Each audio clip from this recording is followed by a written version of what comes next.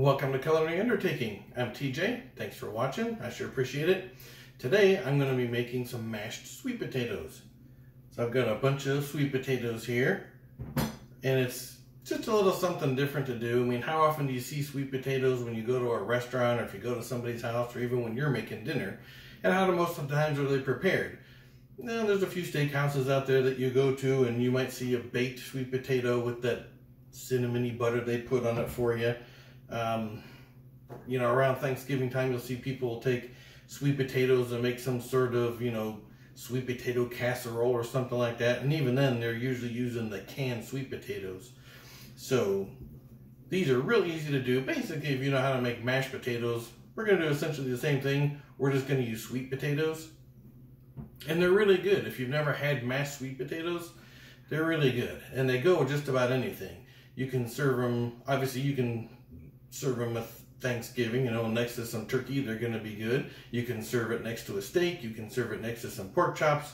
Whatever you want. They're really good. You don't have to put a bunch of cinnamon and, um, you know, marshmallows and all that kind of stuff. We're going to leave all that stuff out and just let the sweet potatoes be sweet potatoes. We are going to add a little cream cheese, a little bit of milk, and some butter to it during the, when we mash them up after they're cooked. But you do that with any mashed potato. So that's what we're gonna do, and they're real simple. So let me show you how I do it. All right, and for this recipe, we're gonna need some sweet potatoes. I've got five good sized ones here. They're probably, I don't know, that might be like two or three pounds of them. I didn't really weigh them, I just grabbed some good ones. You're gonna need a vegetable peeler, a knife, and you, it's up to you. You have a choice. You can either boil these like you do a regular mashed potato, or, like I'm going to show you, I'm going to steam these mashed potatoes. So, I've got my pot there, I've got my steaming insert, I've got some water under there. So rather than boil them, we're just going to steam them.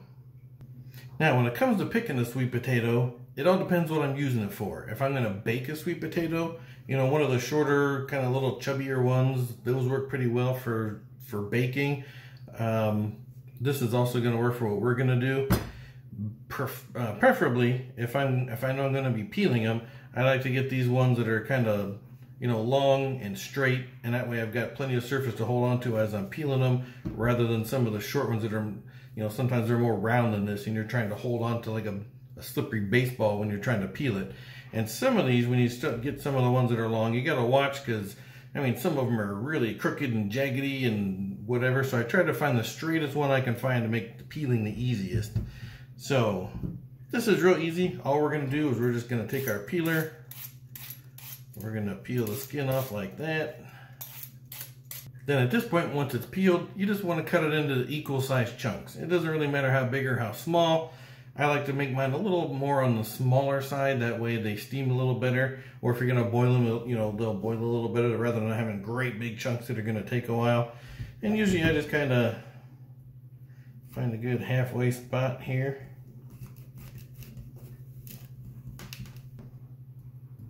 And then I'll take this half and kind of maybe get into roughly thirds.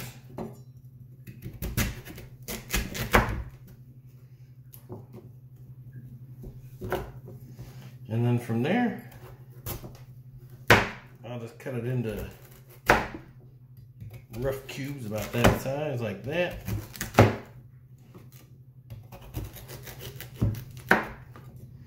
And then into my steamer.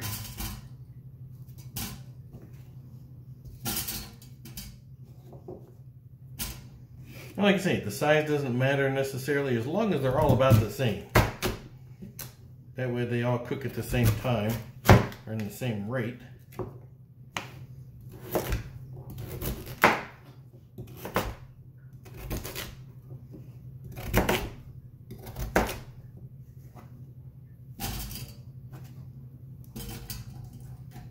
And that's it, nothing too complicated. So let me get the rest of these peeled and cut up and then I'll show you what's next. Okay, so after I got all those potatoes peeled and put them in our pot there. Now one thing, I didn't use all the potatoes. I mean, I filled the pot that far, I still had one left, so that's where we're at on that. Now nothing's been done to this, there's just a little water in the bottom for the steaming.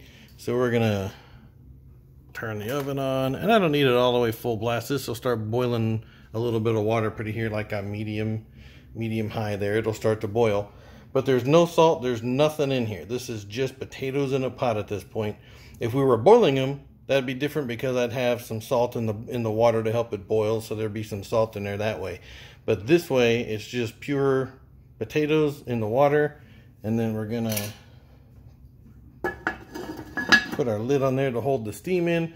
And this is gonna take, once you start noticing, you know, puffs of steam coming out around there, this is gonna take a good 20 or 30 minutes. So don't get too excited, don't rush it, let it go. But just like boiling, if we were gonna boil these, we're just looking for these to be tender. You know, we'll stick a fork or a knife into it, and when they get nice and tender, that's when we know we'll take them out, and that's when we'll be able to start mashing them up. So I'm going to let this go, and when they're done, I'll bring you back. All right, it's been a half hour since I last saw you guys when I turned the burner on, and I just checked our potatoes, and they're done. So I can film and do this without burning my skin off.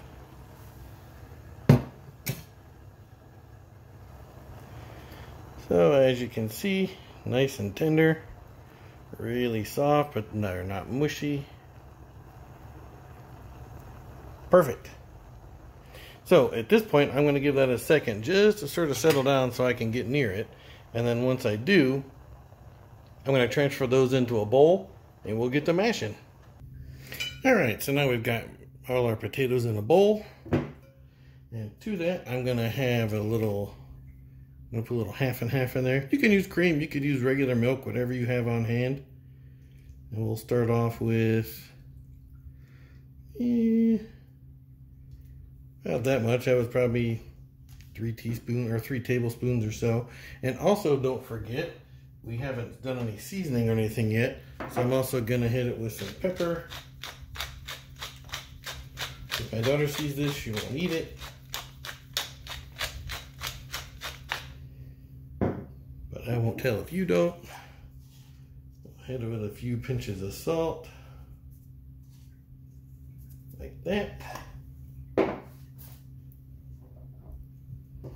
Then I've got a stick of butter and I've got one package of cream cheese here. These are both room temperature. They've been out for a while. So I'll stick those in there. And now comes the fun part.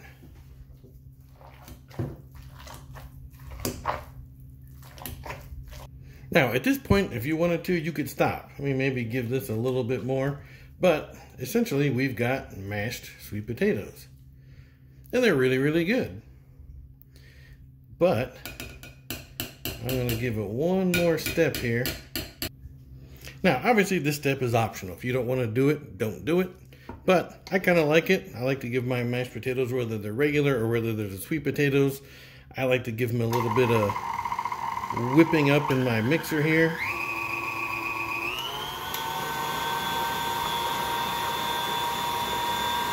And there you go. I let that run for about one minute or so. You can see they're nice and smooth now. And there you have it, mashed sweet potatoes. If you've never had them, give them a try. They really are good. I make these a lot because the wife and I often try to watch our carbs.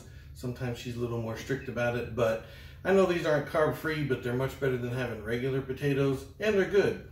They're easy. You prep them the same way as a regular mashed potato. You can steam them, you can boil them, whatever works for you. I do it about 50-50, just depends on the mood I'm in. And then when you're done,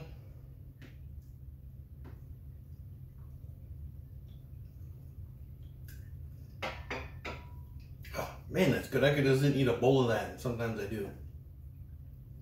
But there's no need for the marshmallows and the brown sugar and the cinnamon and all the other horrible stuff people like to put on sweet potatoes.